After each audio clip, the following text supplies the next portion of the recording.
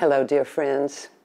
So the question uh, has to do with how do we recognize a, uh, the Plum Village tradition? How do we know that uh, the practices that we are involved in or observing or reading about are actually authentic Plum Village uh, practices? The first way we know it is with the first, what we call the Dharma seal, the first Dharma seal of Plum Village, which is, I have arrived, I am home. Now, what does that mean? I have arrived, I am home. It means I have come back to myself, to this present moment.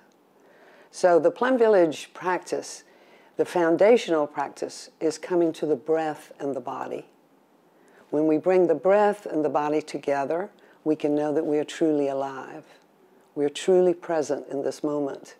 We can know what is going on in the body. We can know what is going on in the mind, in our thoughts.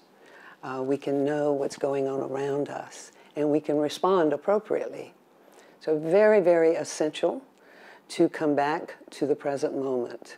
I have arrived, I've come home. I've come home to this moment the only moment that we really have. You know, so, so often we have the habit energy, the mind, the conditioned mind, is running into the future or running into the past.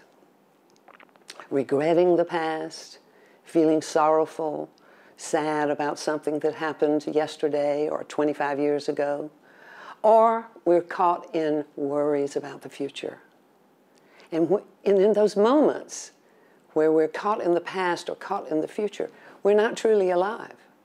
We're not truly alive. We're on autopilot. We're being pushed by the energies of the ancestors. So that the, the, our response to whatever is happening may not be coming from our own truth. It might be coming from the truth of grandmother, of great grandmother, of the larger community around us. Uh, and so we work really hard. We have many wonderful uh, uh, techniques to support us to come back to this present moment, to arrive in each moment, to arrive at home. And one way we do that is uh, mindful walking. So when we walk, we know that we're walking. And when we sit, this is straight from the Buddha actually, when we sit, we know that we're sitting. And when we're eating, we know that we're eating. Mm-hmm. So we're practicing being in the present moment as we walk. we know that we're in touch with the breath. We're in touch with the feet as they touch the earth. Uh, as we eat, we're in touch with the food and with the breath and the body. We take time, we slow down, we reflect on the food that's in front of us. We're in that present moment. We're fully alive. And that's why the food tastes so good very often at our retreats, people will say, Mmm, this food is so delicious. What's different about it? What's different is that the people are practicing. They're practicing being present for the food. They're not caught in thoughts about the past or the future. They're very much in the present moment. They've arrived home. So that is a very foundational practice, and we, we do our best to practice that throughout the day. So Plum Village is not, we, we don't really focus on sitting for long periods of time. We usually sit for perhaps 30 or 40 minutes in the morning and 30 or 40 minutes in the evening. And then we might have some chanting in the morning or chanting in the evening or reading a discourse from the Buddha. Um, or we might practice singing some songs together. But we're present. So we're practicing always to be in the present moment to have arrived home in this present moment. So it's not, uh, you know, I, I think many traditions really focus on sitting, formal sitting meditation. We do some of that, but not much because we're trying to do that all day long in everything that we do. When we have a conversation with our friends, uh, when we speak to someone on the path, we make eye contact perhaps, and we're present. So we're always trying to be in touch with the breath. I've heard our teacher, Thay Thich Nhat Hanh, say that he spent more than 10 days in New York City, walking through the streets of New York City, going through the big train station, getting on the subway. He said he never lost touch with his breath one time. So always in touch with the breath and the body. That is what it means to arrive home. The second Dharma seal is to go as a river. So now what do we mean about that, by that? We mean community. So the it's a metaphor to go as a river. So we recognize that if we try to go through our life uh, using, again, the metaphor as a drop of water, we won't last long. We'll never make it to the ocean. We'll evaporate. We lose our energy. We need the support of one another. Mm-hmm. So when we go as a river, we're many drops of water. We come together, and that river, while it, it, it might lose its way a little bit here and there, depending on how mindful the, the Sangha is, the practitioners are, but we will get to the ocean. And of course, where, what is the ocean but the, the ultimate uh, nirvana, happiness, yeah, peace. That's the direction we're walking in, right? So Plum Village is extremely um, mm-hmm, committed to, dedicated to community building because we recognize that none of us is really separate from others. Each of us has everything else in us so we very much have the teaching of the, the, the phrase or the word that our teacher coined, interbeing. We inter-are. I am made of everything, everything in the cosmos, really, and so are you. So you are me and I am you. We aren't simply connected, we are actually one.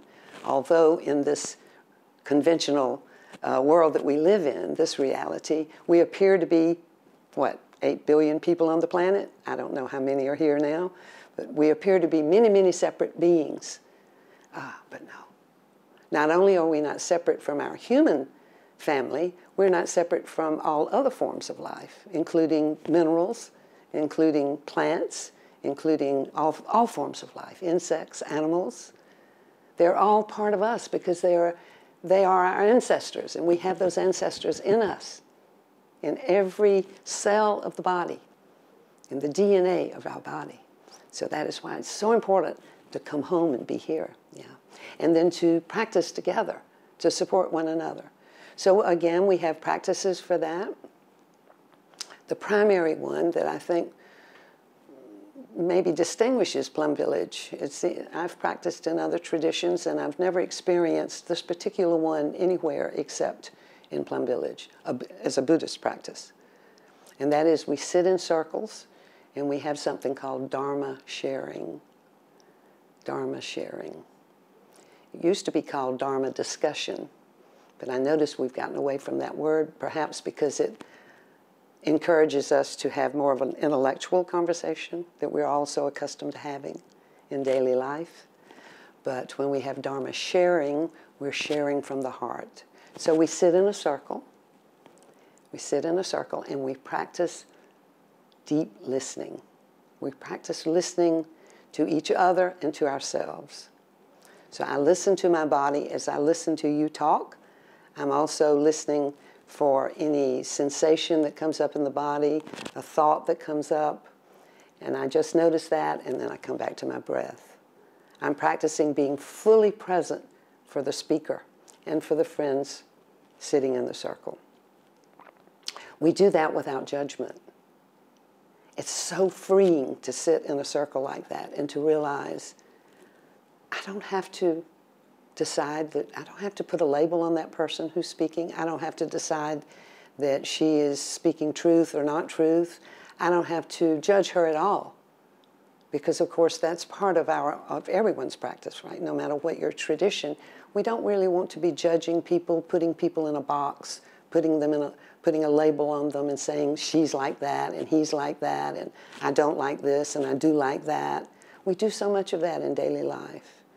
But in uh, when we're practicing and when we find this path, we begin to find another way of being that is so much more freeing so that I can be myself and you can be yourself. So when I sit in that Dharma sharing circle, we all are given the guidelines, no matter how, no matter how strong the practitioners who are sitting in the group, we still remind ourselves by going through the guidelines. And one is, we're not here to solve anyone's problem. I don't have to, I don't have to try to decide anything for you. I just listen to you. And already we, we know that just by being heard, by someone truly giving us their, the, their loving, non judgmental presence, that is already so healing. So healing. Someone is really hearing me. They might even be understanding me. How precious is that? Mm. Another guideline for sitting in that Dharma sharing uh, circle we don't interrupt one another. We just listen. So we have a way, we say, we bow in, and that is the signal to the group that I have something I'd like to share. And then everyone else bows to say, We're here for you. We're here for you. And so then the speaker speaks. And the speaker has the floor until he or she bows out. Because sometimes people speak more slowly or they hesitate and are pondering something. And then it, the habit energy is for someone else to think, oh, she's finished talking, so now I'll jump in and say something. And uh, so this is how we avoid that. I've shared many times that in my uh, daily life, before I found this practice, I was, hmm, I was very, very, very, um, mm, I had the strong habit energy of interrupting. I thought I was just being enthusiastic. So you would be telling about an experience you would have, and I'd say, Yes, you know, I get it. I've been there, I've done that too. And so what happened in that moment? She, her story is lost, and now the light is on me. And people turn to listen to me. I have taken it from her. So it's a, a, a kind of way of not having reverence for life because I have, I have in a, in a sense, I've, I've killed her joy in that moment. And I did that for so many years. And other people around me were doing it too, of course. We were supporting one another to do that. We just were ignorant. We didn't know. The conditions had not manifested yet. For in my case, and I think it's true for everyone, at some point, if we are very fortunate, the conditions manifest that we find a teacher, we find teachings, we find practices to support us, we find a spiritual family. And that's what I have in Plum Village. Uh, I have a spiritual family.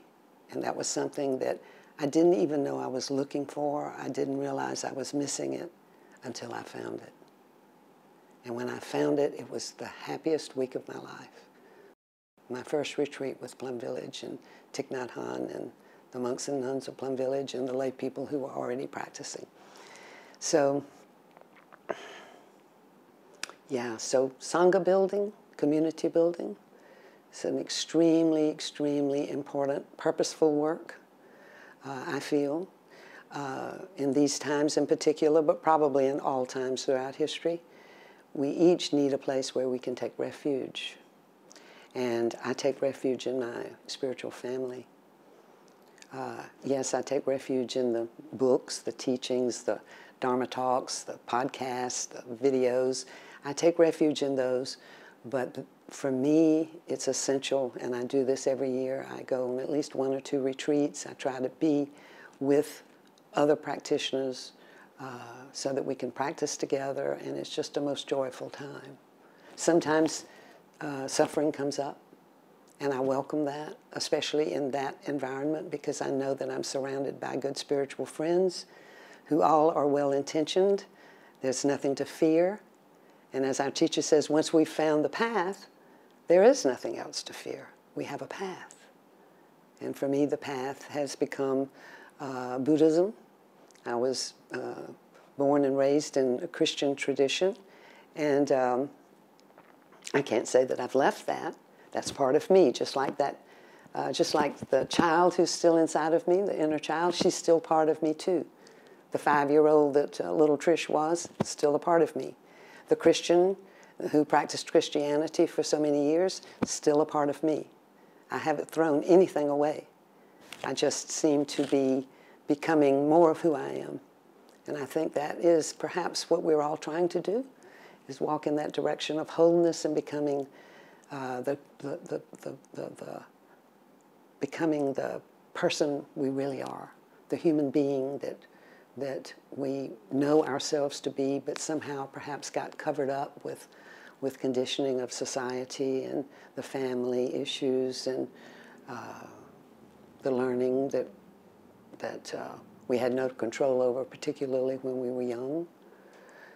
So I, uh, I encourage you to, um, to learn more about Plum Village, um, as we in Plum Village like to learn more about um, other traditions.